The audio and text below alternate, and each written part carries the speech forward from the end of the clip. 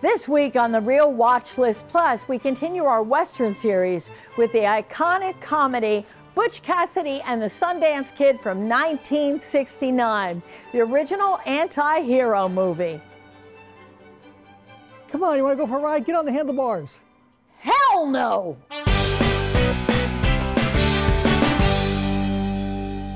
So this week, we're reviewing in our classic Western series, a classic Western. Butch Cassidy, the Sundance Kid from 1969. It's a tongue-in-cheek comedy, representative of an anti-hero movie. Let me tell you about the plot. Tell me about the plot, Deb. People Let's don't get into know it. the plot of this thing.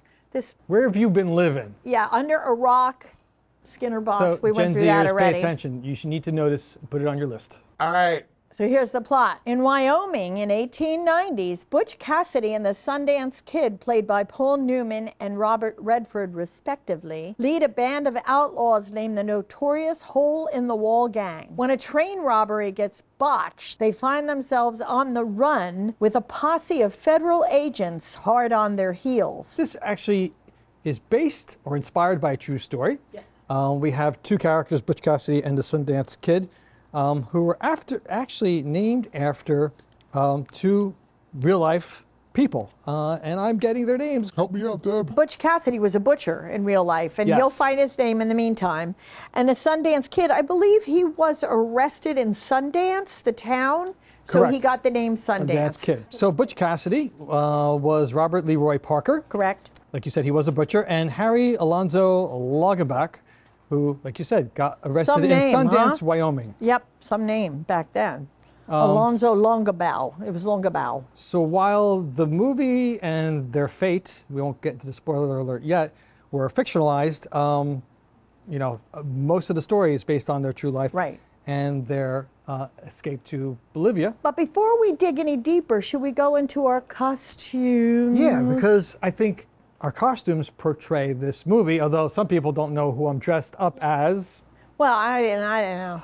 but you're Etta Place, who is Yes. the love interest of Sundance Kid. What's also interesting is that we really don't know historically who Etta Place was. Some people believe that she could have been a lady of the evening, a prostitute. Some people believe that, you know, in this film, she was portrayed of as a teacher. Yeah, teacher. I'm Sundance. I'm Robert Redford. Okay, there you go. A very I- I handsome did Robert get- Redford. I didn't want to say it. I was getting you too confused.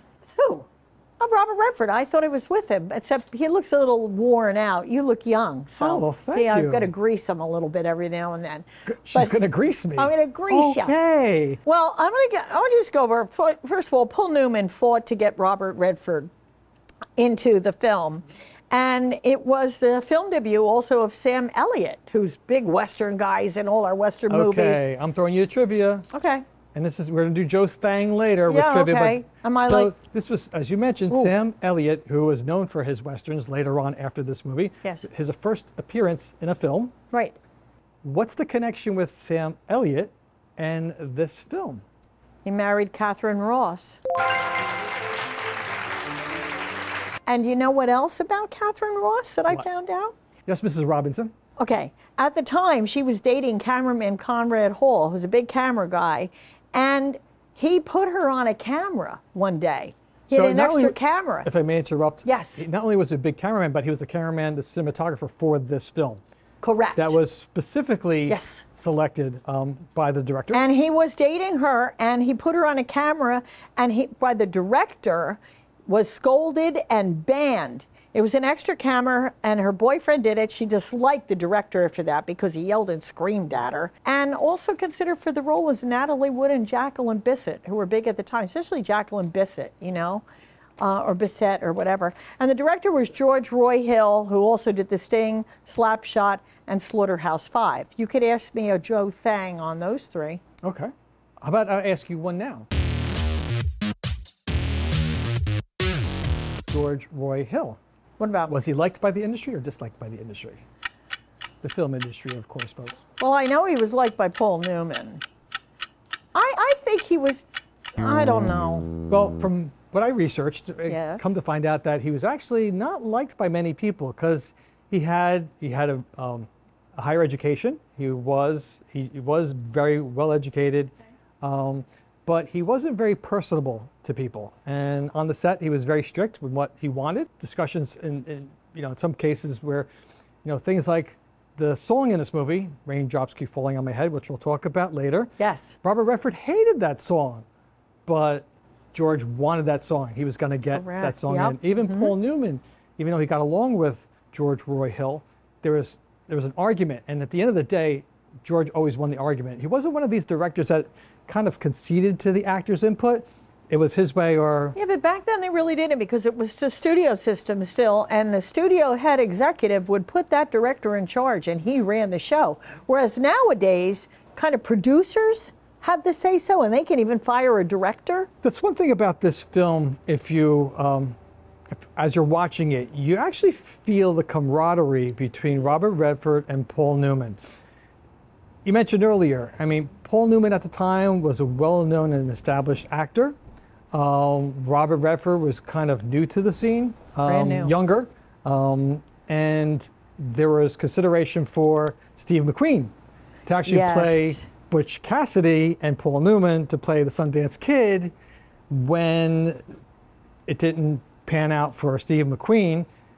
Paul Newman became Butch Cassidy, which he didn't want that role because Right. George Roy Hill wanted to be more comedic, and there's a lot of comedy in here. Yes. And Newman was like, "I'm not. I don't do comedy. That's and not me." McQueen was a bigger star, and they had the title changed. It was Sundance Kid and Butch Cassidy. And then they changed it when Newman got in and changed it because he was more popular than Redford. And with George Roy Hill, which is really interesting, if you watch this movie and it starts off, I, I can't remember exactly, but I think that Robert Redford's Sundance is in like a card game or something. The first shot is the close up of his face, so close that you see his eyes and his nose. And no film back then started with an unknown with a close up facial shot. But they did it because it was uh, like completely different and they wanted to do kind of a departure film. Because this was one of the series in the time period of anti-hero films where you root for the bad guy. right. You love the bad guy. That's a good point because you're talking about films prior to that where the good guy's the cowboy, he's going to save the day, he's going to go after the Indians, he's going to have a romantic relationship, and end story. Where here you have this These guys are robbing and going on. killing, and yet you love them. right, You love them. and you feel it, and they they were so well suited for each other that it came across in the film. Katharine Ross, she was like the it girl of the time. Yes. She was she represented that '60s kind of Woodstock flower girl, flower power girl. Um, she was short, five three. She was? Yes, she was shorter than us. And I'm short. God, we're so into this movie, I and we, know, and we're we such forgot to do our review. Yeah, what a, On the count of three, we're gonna flip our review and let the audience know how we review Butch Cassidy and the Sundance Kid.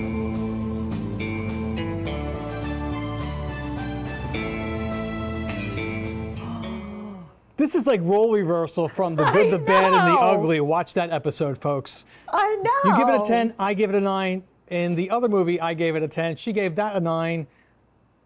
We have to talk about why You know, you look at it, I look at it in a different way. she means in a better way. No, I don't. No, it's not 39 better. years in the No, industry. it's not better. 39, screw that.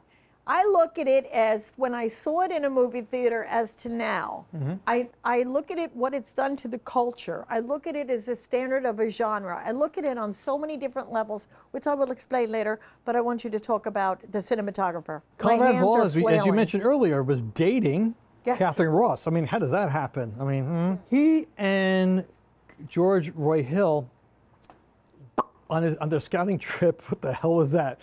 Wide landscapes. They used a washed out, desaturated color. They overexposed the film to give it that kind of washed out yellow hue color. And so, again, one of the reasons why this was so unique to the time and breaking away from your typical westerns. Again, the 60s, breaking away from all these different traditional genres. Um, and one way they did this, and they were criticized, but then later won an Academy Award, was the music. The music written by Burt Bacharach. He wrote the song uh, Raindrops Keep Falling on My Head. And there's the iconic scene where Paul Newman, Butch Cassidy, is biking, rides this newfangled contraption, which is called a bicycle. You know, if you don't have time to watch the movie, which we highly recommend, watch that scene because it was so criticized but so celebrated afterwards um, for the music, for the for the um, placing us in the movie. Like, who would think it was almost like putting a music video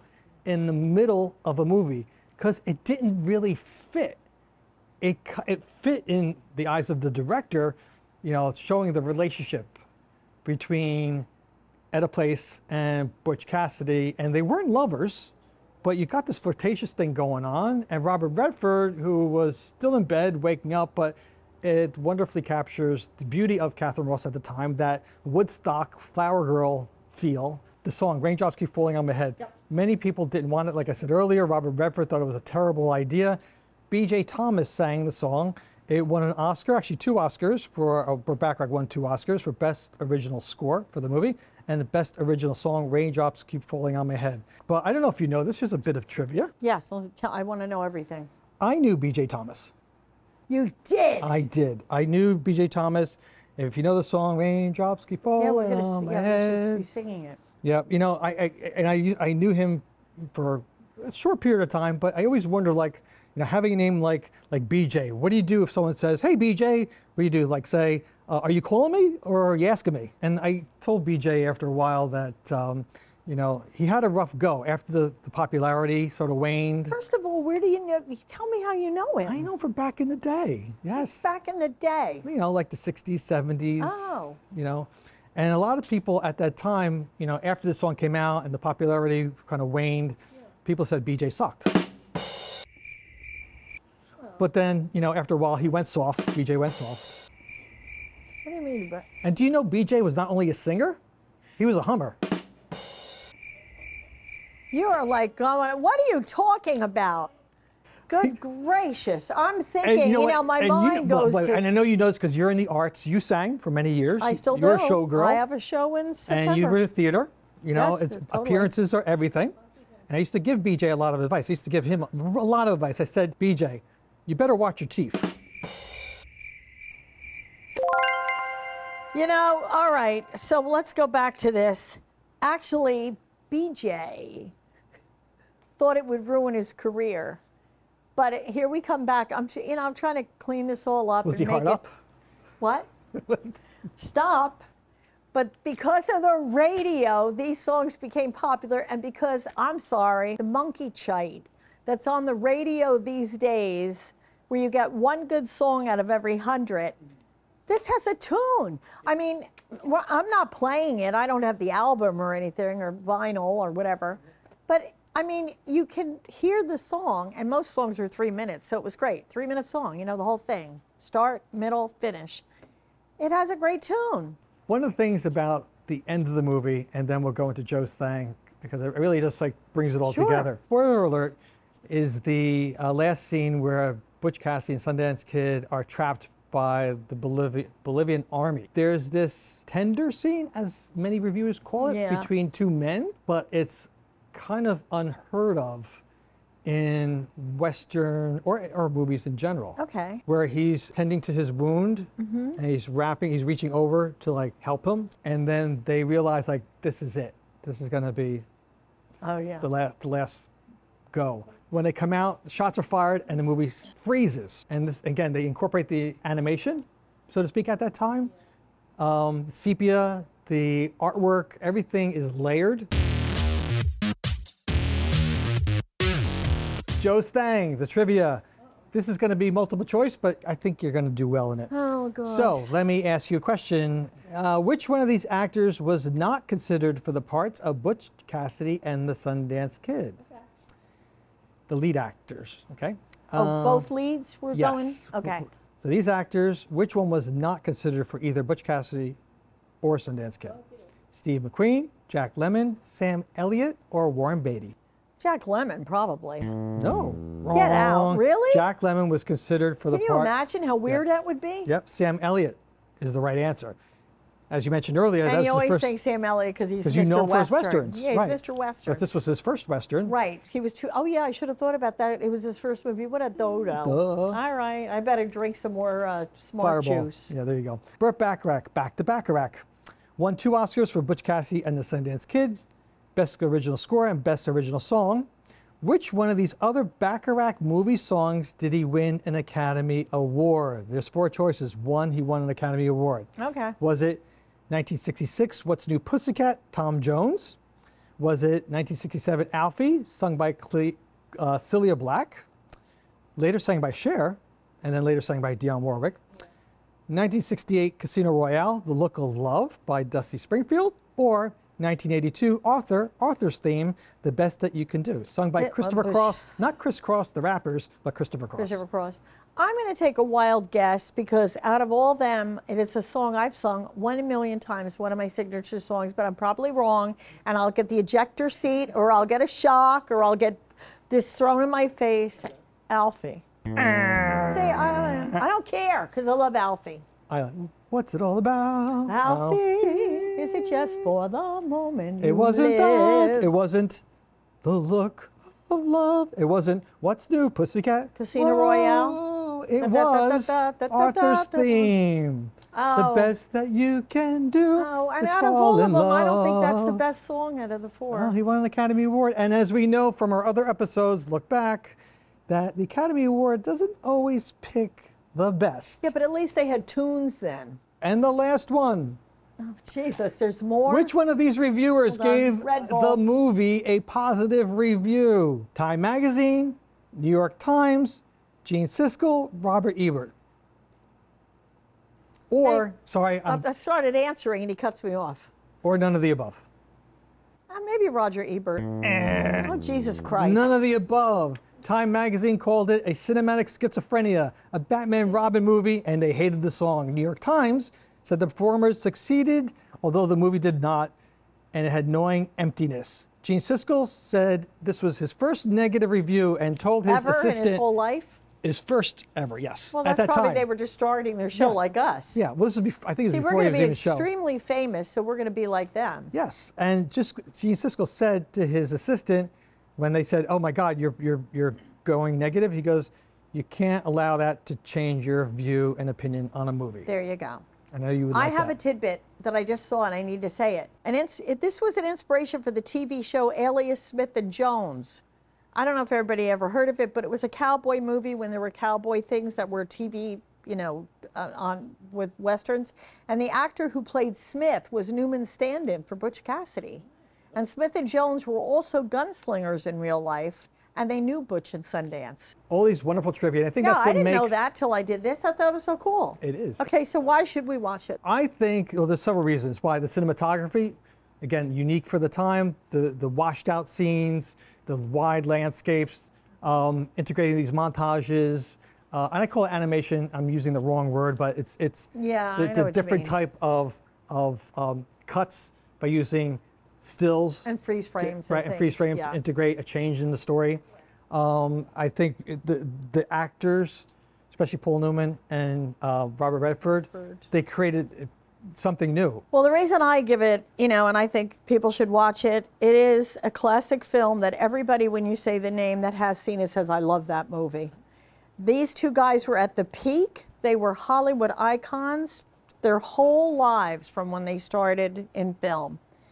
And it also brought in humor, and it was an unbelievable anti hero movie, which started the anti hero movies that came through. That was a genre anti hero, and it was also a Western biography.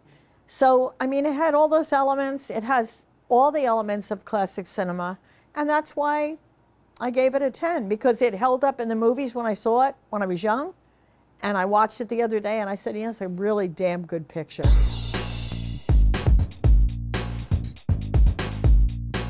But they, this is a great watch list. I had so much fun doing it, and this represents all lovable anti heroes, okay?